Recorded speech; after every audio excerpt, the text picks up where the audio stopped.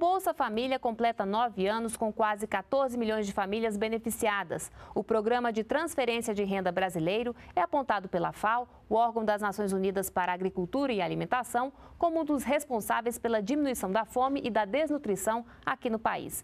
Esse é o assunto de hoje do NBR Entrevista. Aqui no estúdio eu recebo o secretário nacional de Renda de Cidadania do Ministério do Desenvolvimento Social e Combate à Fome, Luiz Henrique Paiva. Olá, secretário, muito obrigada por ter vindo. Olá, Carla. Meu, eu que agradeço. Bom, secretário, é, quando o Bolsa Família foi criado, ele recebeu várias críticas, né? Nove anos se passaram. Qual é o balanço que a gente pode fazer hoje? Então, é, a gente pode dizer que toda novidade em termos de políticas públicas é, é recebida com alguma resistência, especialmente quando era voltada para um público que não era beneficiário dessas é, inovações. É, passado o tempo, nove anos, o Bolsa Família está se tornando cada vez mais, ou está sendo visto cada vez mais como uma parte importante do sistema de proteção social brasileira, é, que tem impactos reconhecidos internacionalmente em termos de redução da pobreza, em termos de melhoria da alimentação das famílias beneficiárias. E, então, hoje, eu acho que o programa está se institucionalizando e está virando parte do sistema de proteção social e um verdadeiro patrimônio uh, da nação brasileira. E o que, que ainda precisa avançar? Uh, todos os programas brasileiros têm avanços a serem feitos. Então, o Bolsa Família, a administração cotidiana do Bolsa Família, ela, é, ela, é, ela ainda é uma, uma, uma administração que exige um grande esforço nosso. Eu creio que a institucionalização do programa, do ponto de vista administrativo, é ainda um grande desafio, porque o programa é muito novo, né? tem apenas nove anos. Né? Mas é um trabalho cotidiano nosso que nós temos feito e a ideia, o objetivo fundamental é fazer com que o Bolsa Família consolide os resultados até aqui é, é, já alcançados. Qual é o grande diferencial desse programa? O, do ponto de vista conceitual, o Bolsa Família ele rompe com uma trajetória da, do sistema de proteção social no Brasil, que sempre foi um sistema de proteção baseada no seguro social. O que, que é o seguro? O seguro é a proteção social que é dada a quem paga. É? É, na América Latina e no, no, Brasil, na América Latina como um todo, os sistemas de proteção social foram é, elaborados desde a década de 20 é, do século passado dessa maneira, baseado num sistema uh, uh, de seguro social. O Bolsa Família ele rompe com isso na medida em que a pessoa não precisa contribuir para receber, mas ele paga benefícios para pessoas em idade ativa, coisa que o Seguro Social não paga, não é? A não ser quando a pessoa é, é, não pode mais participar do mercado de trabalho. O Bolsa Família, ele ao contrário, ele paga, inclusive, para pessoas em idade ativa, que estão trabalhando. E a, e a natureza dele é uma natureza complementar. O Bolsa Família ele não entrega um volume de recursos suficiente para uma família se manter. Então, a natureza dele é complementar.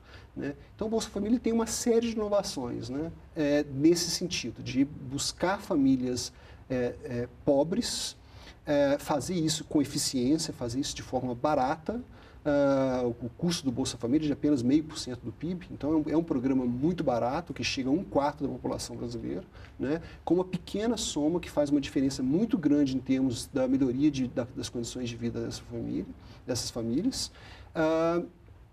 E revoluciona a maneira de se fazer política social no Brasil. Na verdade, é um programa de grande eficiência no combate à pobreza, porque você consegue ter um, um, grande impacto na redução da pobreza. Né? A pobreza, a extrema pobreza no Brasil seria um terço maior se não fossem as transferências do Bolsa Família, e você consegue fazer isso é, aplicando apenas meio por cento do PIB. Aliás, seria interessante eu destacar um outro, um outro ponto, quer dizer, aproximadamente 20% da redução que nós tivemos no índice de Gini é, nos últimos anos. Que índice é, é esse, só para a gente entender a, melhor? O índice de Gini é o índice que mede a desigualdade de renda uh, uh, de uma determinada comunidade, ou de um país, ou de uma cidade, enfim.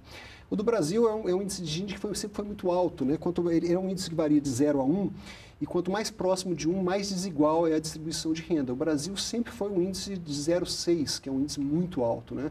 E ele vem caindo sistematicamente nos últimos anos, né? Nós é, já baixamos de 5,4, nós estamos em alguma coisa em torno de 5,053, é, né?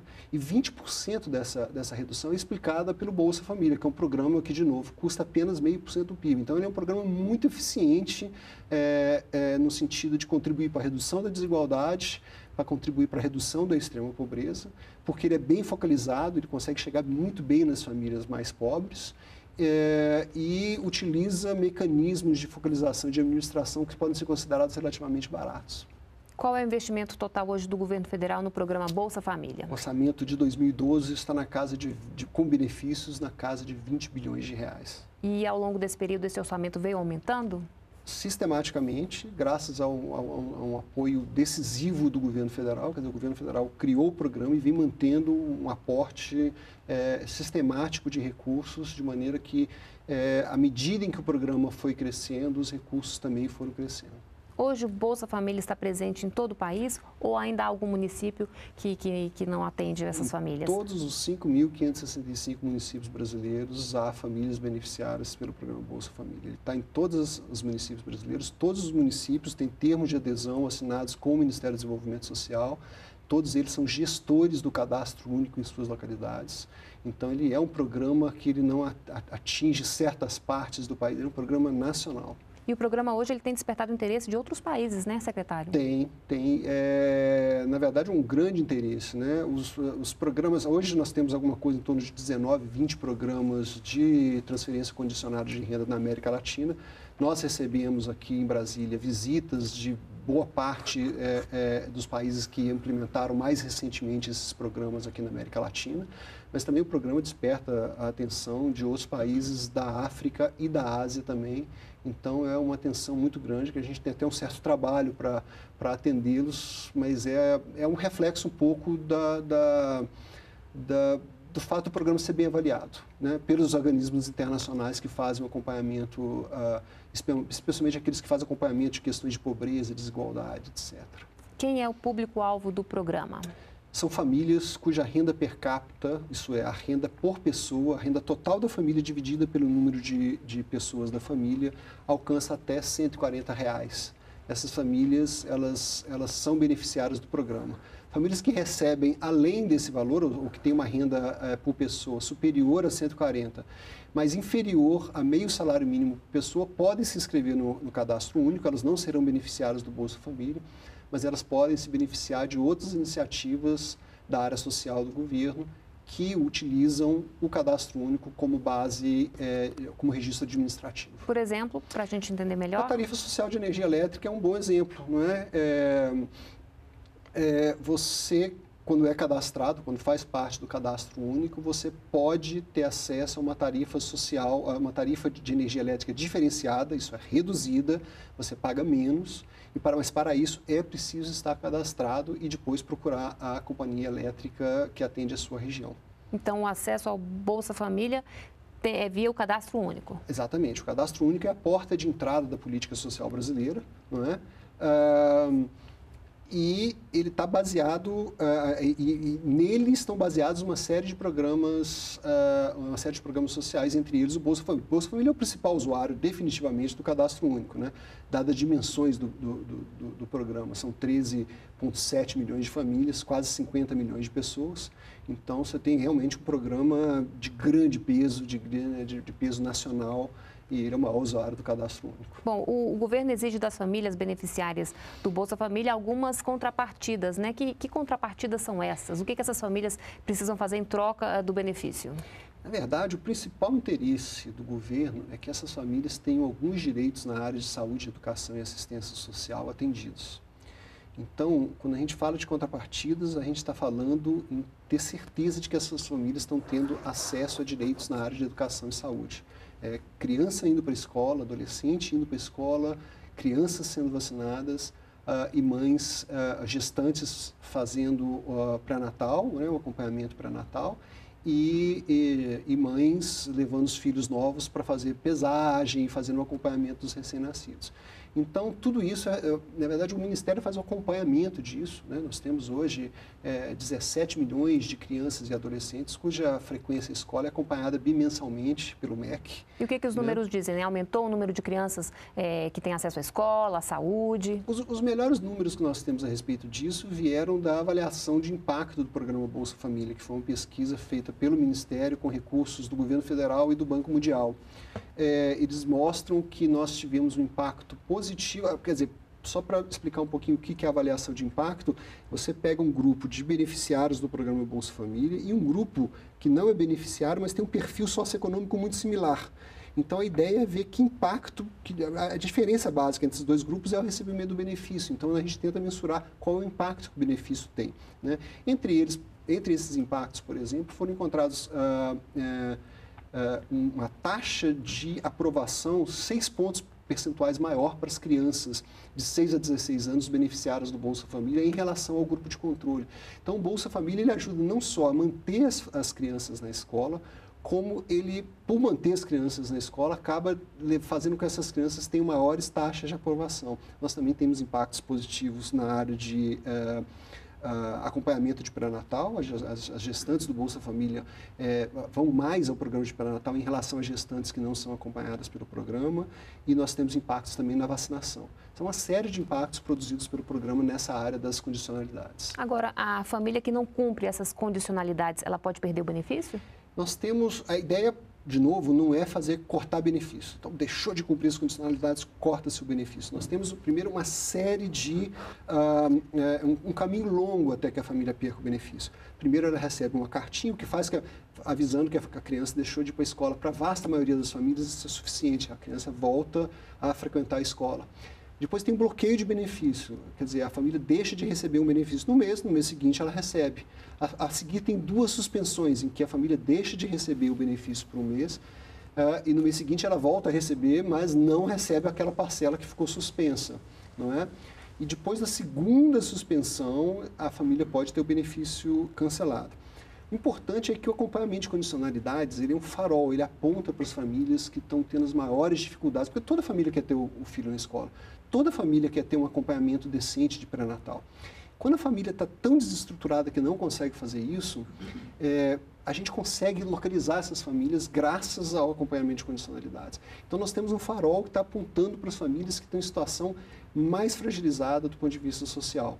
E isso mobiliza as redes de assistência social que fazem o atendimento e tentam fazer com que essas famílias se reestruturem e voltem para a sala de aula, para as crianças voltem para a sala de aula, as mães e crianças voltem a ter o acompanhamento de saúde. E com isso você evita o cancelamento. A última coisa que a gente quer é cancelar um benefício de uma família que está em necessidade. Secretário, como fazer para incluir quem ainda está de fora? São muitas famílias?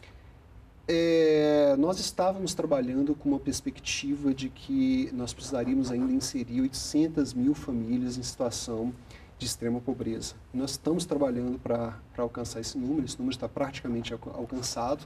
Uh, nós estamos fazendo um trabalho muito forte com estados e municípios no sentido de, de uh, fazer aquilo que nós estamos chamando de busca ativa, que é, é, a ideia de que sim, existem famílias que são tão fragilizadas que elas não conseguem chegar ao Estado, então o Estado precisa chegar a essas famílias. Então nós estamos fazendo um esforço muito grande de busca ativa e a ideia é incluir todas essas famílias. É, no seu município, Uh, o que é, quem é responsável pelo cadastramento dessas das famílias extremamente pobres, pobres e em situação de vulnerabilidade é a prefeitura municipal. Né? Então é ela que tem que um, agir ativamente no sentido de cadastrar e ela também pode receber indicações de movimentos sociais, de organizações sociais e mesmo de moradores a respeito de famílias que estão vivendo situação de extrema pobreza. Importante também lembrar que as famílias podem deixar de receber o benefício e depois voltar a receber caso seja necessário. Exatamente, isso é um ponto muito importante do programa. Uh, caso a família uh, uh, chegue numa situação em que ela não precise do programa, digamos um, é, um marido ou esposa conseguiram um novo trabalho, estão numa faixa de rendimento em que eles não precisam mais do programa, eles podem ir comunicar a gestão do programa, que eles estão deixando o programa voluntariamente, eles ajustam a renda no cadastro único e deixam o programa voluntariamente. Para toda família que deixar o programa voluntariamente, né, ela tem o direito de, em 30 meses, 36 meses, na verdade, 3 anos, de assim que a situação dela voltar a, é, a ficar ruim, ou caso ela volte a ficar ruim, ela reajusta a renda no cadastro, voltando para os valores do Bolsa Família, e ela tem direito a retornar automaticamente ao programa. Então, isso, o retorno garantido dessas famílias ao programa é muito bom, porque a gente sabe que é, o que acontece com essas famílias não são só que elas são famílias pobres, é que muitas vezes a renda é incerta. Então, elas estão na extrema pobreza, num mês, três meses depois elas já melhoraram um pouquinho, estão em situação só de pobreza. Depois elas vão para uma situação de vulnerabilidade, em que elas já não estão mais pobres, mas é, estão numa situação um pouquinho melhor, mas ainda assim frágil, e de repente alguma coisa acontece, elas voltam à situação de extrema pobreza. Então, é, é, o programa precisa estar preparado para enfrentar esse tipo de situação. Bom, secretário, qual é o futuro do programa Bolsa Família? Né? O ideal é que as famílias cada vez mais se tornem independentes e precisem menos do benefício. Diante disso, qual é o futuro do programa? Em primeiro lugar, eu acho que assim, a gente ainda tem um desafio muito grande. A extrema pobreza no Brasil está sendo, tá sendo vencida, é, mas nós temos um conjunto de famílias que continuam em situação muito vulnerável e a gente não vai resolver isso de uma hora para outra.